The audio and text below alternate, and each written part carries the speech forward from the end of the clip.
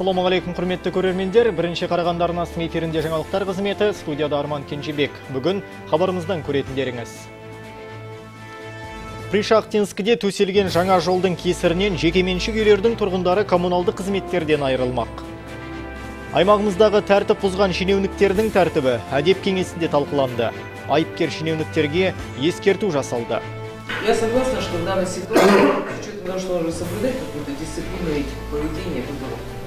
Қарағандыдағы Октябрь ауданына Алаш көсемі Әлихан Бөкейханның есімін беру жұмыстары қолға алынуда. Сонымен қатар қаладағы Ленин көшесінің атауы да өзгеруі мүмкін.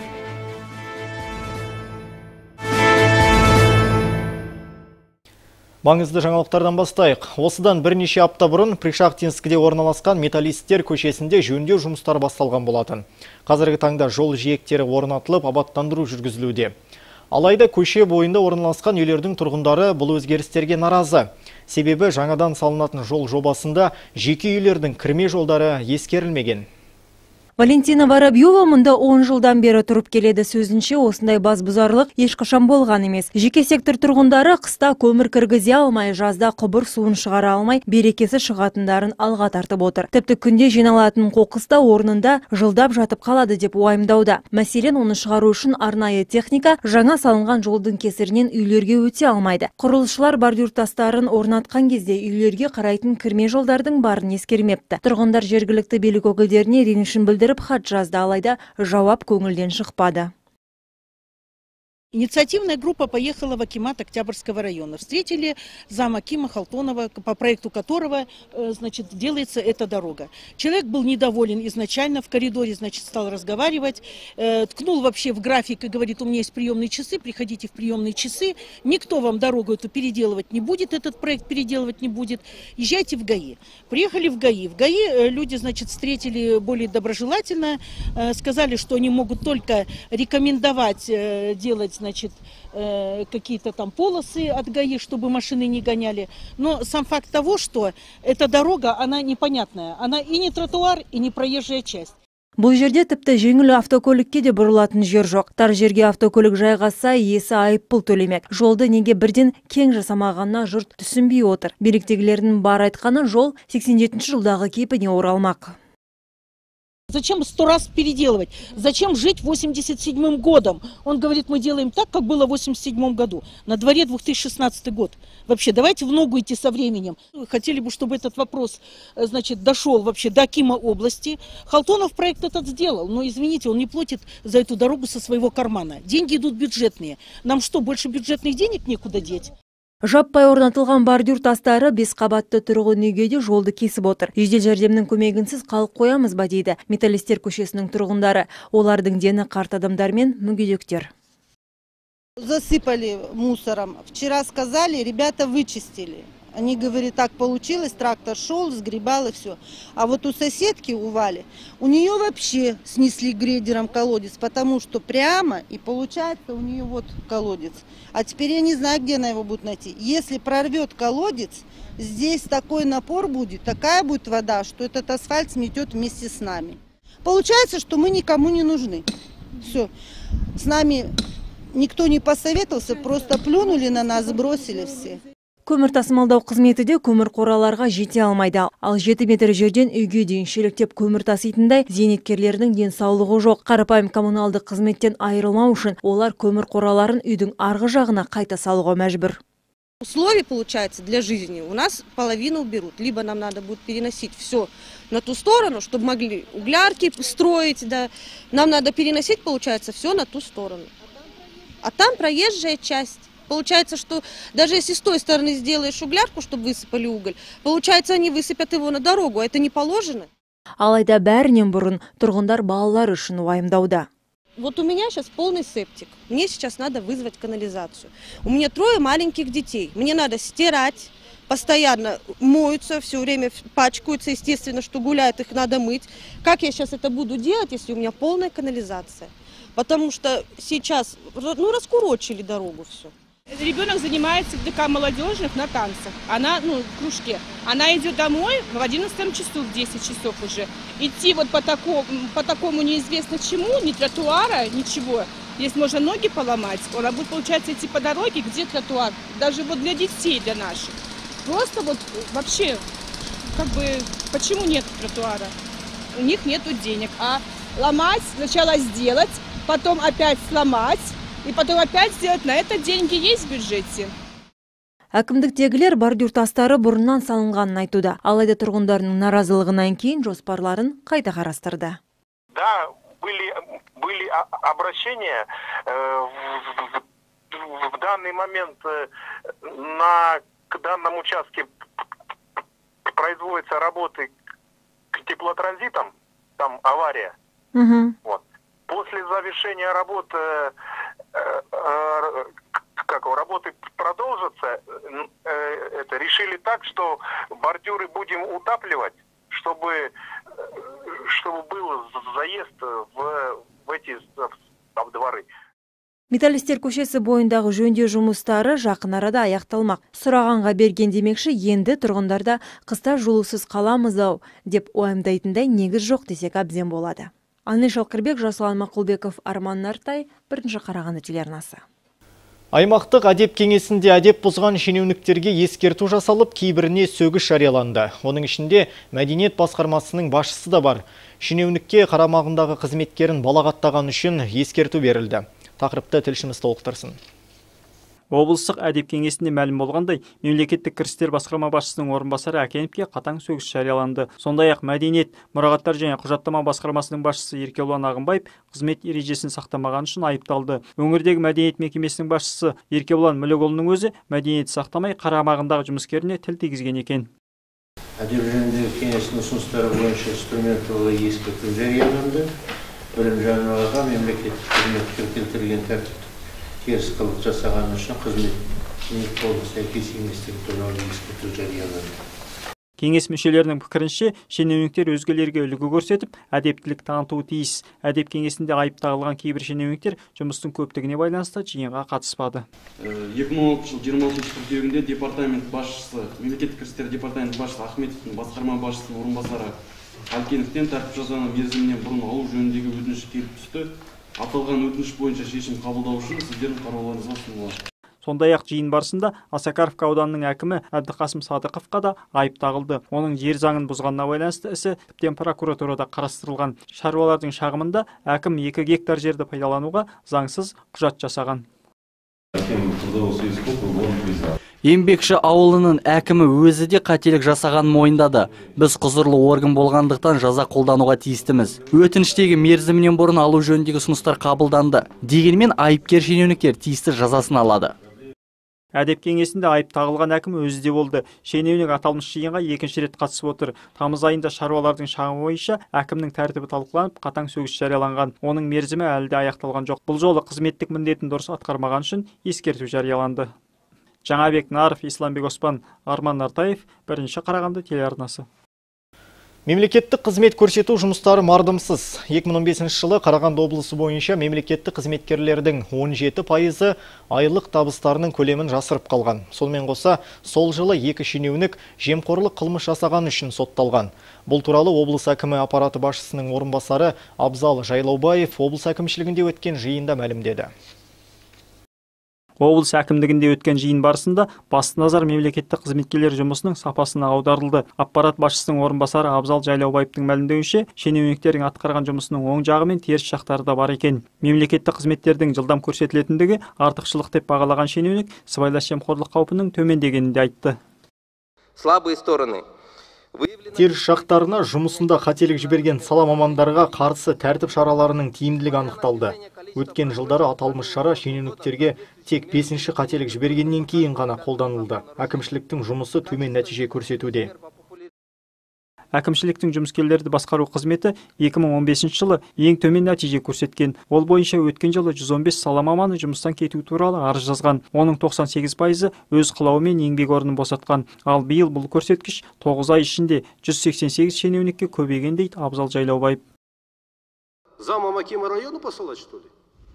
Қызметкерлермен жұмыс істеу керек оларға түсіндіріп оқыту керек. Тағы да әлеуметтік пакеттің жоқтығы айтылды ма? Мемлекеттік қызметкерлерде қандай әлеуметтік пакет болуы мүмкін? Аймақ басшысы отырыс барысында оқылған баяндамаға көңілі толмады. Қала әкімдігінің айтуынша жастар жұмысын қатардағы қарапайым қызметші болып бастау керек. Мемлекеттік қызметкерге жоғары лауазым мен жалақыны беруге ешкім де уәде бере алмайды. Сонымен қоса нұрмұхамед әбдібеков жас мамандар жұмысқа тұрмастан бұрын қызметтік өсім барын алдын ала біліп алуды ұсынды.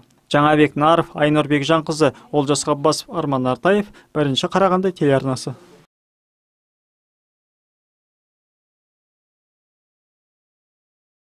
Хабарымызды жалғастырамыз. Келесі жылы 1128 отбасы тұрғын үймен қамтамасыз етіледі. Әр тұрғын үйдің жалпы алаңы 59 мың шаршы метрден есептелуде.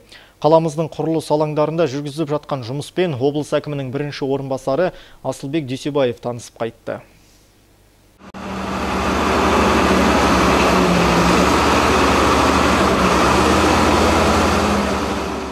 асылбек дүйсебаев барған алғашқы нысан панель орталық шағын ауданы болды. Мұнда өңірлерді дамыту бағдарламасы аясында көп қабатты тұрғын үйдің құрылысы жүргізілуде. Келесі жылы өз үй мемлекеттік бағдарламасы шеңберінде мың бір жүз жиырма сегіз отбасыны баспанамен қамту жоспарланып отыр. Жаңа баспаналардың бір шаршы метр құны жүз қырық мың теңгеден. Облыс әкімінің бірінші орынбасары асылбек дүйсебаев салынып жатқан тұрғын үйлердің жобасымен танысты. Жүз тоқсан екі пәтерлі тұрғын үй бәйтерек девелопмент акционерлік қоғамының қолдауымен бой көтеретін болады.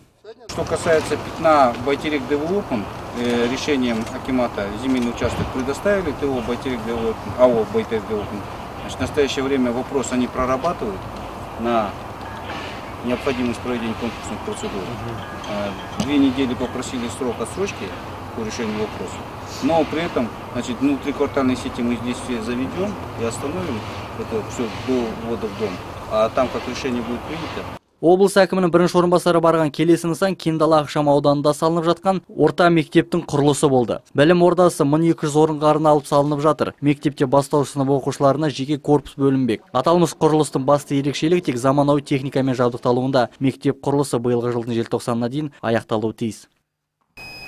Я думаю наверное тоже так что она первая қаламызда алғаш рет осындай мектеп ғимараты салынып жатыр. Жобаның негізгі құрылысы аяқталып қалды. Бүкіл керек жабдықтар әкелінді. Мектеп жаңа техникалармен жабдықталған. Мұнда барлығы да компьютер арқылы жұмыс істейтін болады. Асылбек дүйсебаев жаңа салынып жатқан құрылыс нысандары тұрғындарға қолжетімді болуын назардан тыс қалдырмады. Сонымен қоса жоспарланған уақытта мәреге жетуін де қадағалайтынын айтты. Алмас мұсабеков арман нартаев бірінші қарағанды телеарнасы. Қаламыздағы Октябрь ауданына Алаш көсемі Әлихан Бөкейханның 150 жылдық мерейтойына орай есімін беру мәселелері қозғалуда. Бұл шараны қайраткердің мерейтойында облыс әкімінде атап өткен болатын. Қарағандылықтардың пікіріне президент әкімшілігі де қолдау білдіріпті.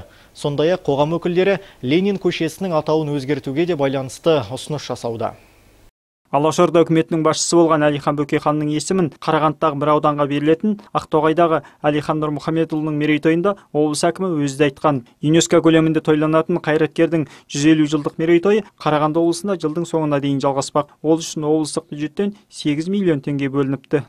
Үлкен ірі ғылыми практикалық халықаралық ғылыми практикалық конференция болады. Оны әлихан танушылары жапониядан америкадан ресейден жалпы бір үш төрт мемлекеттерден шақырмақшымыз. Олардың бәрі әлихан танушылар астана мен алматының олар бар.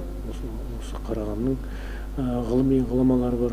Олар қатысады сондай үлкен халықаралық ғылыми практикалық конференцияны өткіземіз деп отырмыз осы желтоқсан айында. Көпшілік арасында алаш көсемін білмейтін жандар да бар. Себебі әлихан атамыздың еңбектерін тек әдебиетші тарихшылар ғана зерттеп жалпы халыққа ақпарат толық жетпеген. Ал алаш көсемі бір саланы ғана емес агрономия экономика заң бірнеше саланы бірдей қамтып зерттеген. Тіптен алаш арыстарының бағдарламасы заман ағымына сай бір жүйеге негізделіп еліміздің заңына енгізілсе де артық емес дейді ғалымдар. Бүгінде университетте әлихан тану оқытыла бастаған. Енді мектеп бағдарламасына енгізу жоспарлануда.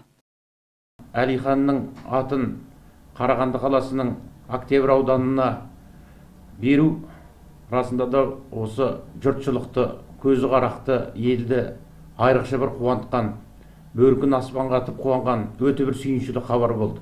Әлиханның өмірін әлиханның ғылымда салған жолын насихаттап жүрген қаншама азаматтар алып өздерінің пікірлерін ортаға салды. Сонда бір конференцияның резолюциясында осы әлиханның бүкіл өмір жолын ғана емес жасаған еңбектерін жазған ғылыми мұраларын мектептің бағдарламаларына енгізу туралы шешім қабылданды.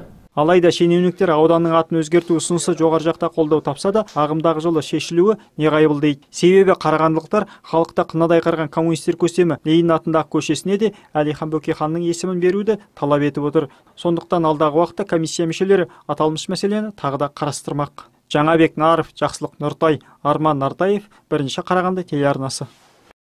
Қаламызда кадет сыныптарының 150 оқушысы өмірлеріндегі алғашқы анттарын қабылдады. Олар отанға және халыққа әрқашанда адал болуға серт беріп, болашақ жауынгерлердің қатарына қосылды. Ауқымды шара Қарағанды қаласы Талғат Бегелдинов атындағы Жаслан Республикалық мектебінде өткен болатын. Салтанатты жиынға болашақ сарбаздардың ата-аналары, Қорғаныс министрлігінің өкілдері мен әскери қызметкерлер қонақ ретінде шақыртылған. Биыл алғаш рет Қазақстан Республикасы қорғаныс министрлігін тапсырмасы бойынша жақсы сынақ нәтижелер мен жоғары дене дайырлық көрсеткіштері бар талапкерлер арасынан мектепке конкурстық жинақта өткізілді. Іріктеуден іркілмей өткен кадеттердің бірі Ерғанат Егенбаев. Ерғанат төртінші ротаның екінші взвод ұланы. Болашақ әскери қызметкердің өміріндегі бұл алғашқы қабылдаған анты. Жасөспірім бала кезінен әскери киім киіп, Жасұлан мектебіне баруды армандаған. Міне биыл осы мақсатына қол жеткізіп отыр. Азаматтың қуанышында шек жоқ. Ұстаздарды бүгін ұстаздар мерекесімен құттықтаймын. Жасұлан мектебінің білім деңгейі өте жоғары деңгейде десек болады. Бұндай жоғары деңгейде болудың себебі әрине бұл ұстаздардың арқасы. Ұстаздардың арқасы. Ұстаздар өте бұл жердің ұстаздары өте сондай бір жоғары деңгейдегі сондай жоғары деңгейдегі ұстаздар болып табылады. Осы ұстаздардың арқасында білім деңгейі өте жоғары. Осындай және де офицерлерді мектебіміздің басшысы балғабеков атығай күнжоловичте мен мерекелерімен құттықтаймын. Осындай қазақстанның кез келген жерінен табылмайтын мектепті бізге салып берген салып берген осындай мектепте тұрғызып берген бізге еліміздің ел басшысы бас қолбасшысы нұрсұлтан әбішұлы назарбаевқа рахметімді айтамын.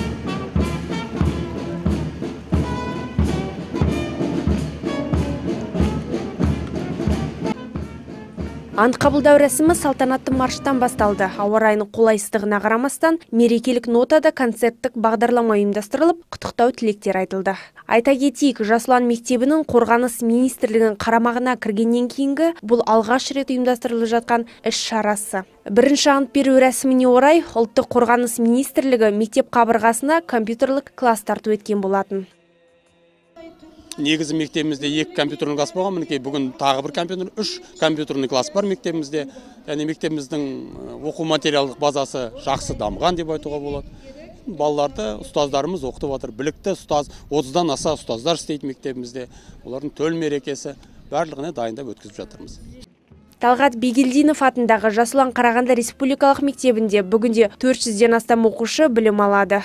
Аталмыш білім ордасына үміткерлер 9 сынып бітіргеннен кейін тест тапсыру арқылы іріктеліп алынған. Мекеменің басты мақсаты өскелең жас ұрпақтың бойында патриоттық білім мен өзін өзі жетілдіруге деген құштарлық беріктік отан тарихына тәуелсіз қазақстанның бүгінгісі мен болашағына деген жауапкершілікті қалыптастыру болып табылады. Айнұр бекжанқызы жасұлан мақұлбеков арман нартаев бірінші қарағанды телеарнасы.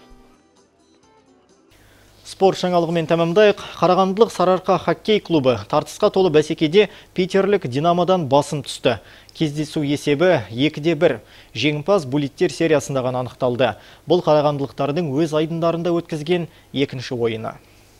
Кезекті ойын және кезекті динамо командасы. Дегенмен бұл жолы санкт петербурлық ұжым. Қонақтар ойынның үшінші минутындағы есепті ашты. Завьяловтың көмегімен қарағандылықтардың қақпасына шайба салған артем могила. Есеп нөлде бір. Динамолықтардың қарқыны мұнымен шектеліп қалған жоқ. Санкт петербурлық команданың ойыншылары қарымта шабуылдарға шығып күрделі комбинациялар ұйымдастыра білді. Көп жағдайда сарыарқалықтарды тәжірибелі қақпашы георгий гелашвили шайбадан құтқарып қалып отырды. Үзілістен кейін айдындағы жағдай өзгерді. Екінші периодтың алғашқы 5 минутында шайба қонақтардың алаңынан шықпады. Көп ұзамай бұл өз нәтижесін берді. Көк жолақтың бойынан күшті соққы жасаған сергей твердохлебов есепті теңестірді.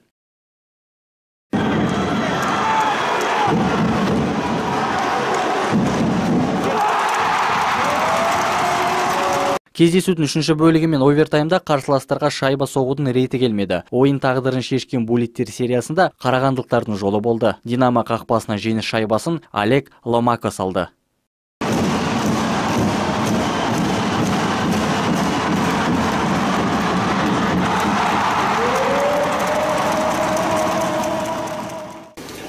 Получилась хорошая боевая игра, тартысқа толы жақсы ойын болды. Ойынның бірінші және үшінші бөлігінде ойыншылар жоспарға сай жақсы жұмыс істеді. Екінші кезеңде ойын тізгін жіберіп алдық. Өз алаңымыздан шығудың реті келмеді.